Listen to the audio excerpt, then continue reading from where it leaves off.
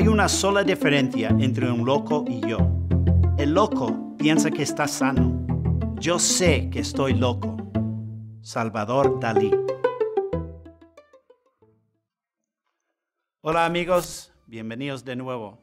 A continuación experimentamos una hermosa repetición de la técnica laberíntica de Cervantes propia de la primera parte, Mis en Abim, o la estructura de muñecas rusas, un relato dentro de una narración cuyo propósito es reflexionar sobre la narración inicial.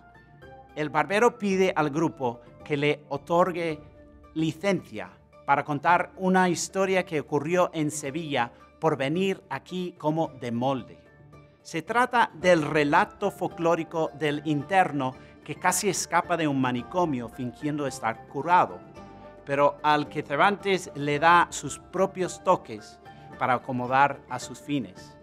Debido a que ocurre en el Hospital de los Inocentes, el relato vuelve a aludir al discurso médico de la discusión política anterior también se trata de problematizar la filosofía y el conocimiento porque el loco es un licenciado de Osuna, una universidad menor que el barbero compara con Salamanca. La historia también contiene otra de las críticas de Cervantes a la Inquisición. Se burla de la superficialidad de las diferencias entre las religiones como si las personas de diferentes religiones estuvieran eligiendo entre Júpiter y Neptuno. Se opone a la forma en que la Inquisición a menudo robaba y redistribuía la propiedad de las personas que acusaba de herejía. El enfermo, según el relato, escribía cartas al arzobispo, cabeza de la jerarquía eclesiástica, en las que explicaba que sus familiares le habían internado con el fin de tomar el control de su hacienda. ¿Sabías que el recurso de mis en abim, o sea, el uso de la estructura de muñecas rusas o cajas chinas, se refiere al efecto producido por los múltiples marcos narrativos de la novela?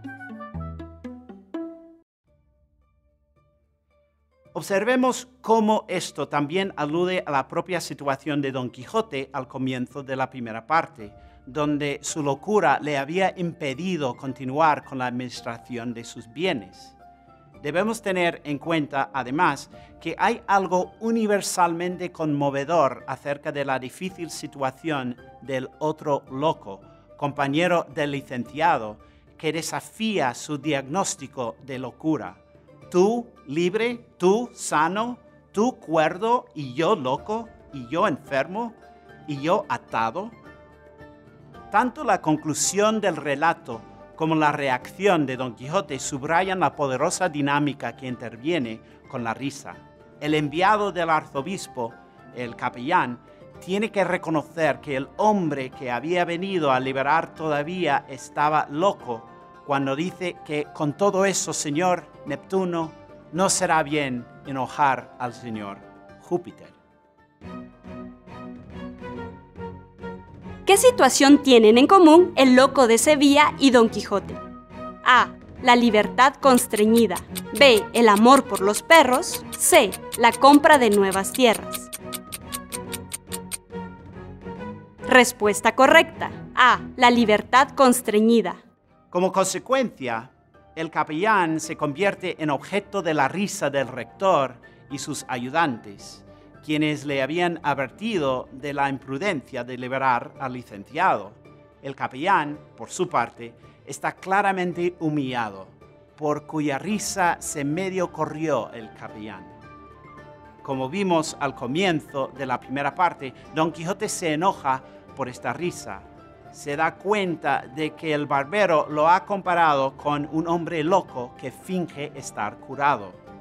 Yo, señor barbero, no soy Neptuno, el dios de las aguas, ni procuro que nadie me tenga por discreto, no lo siendo.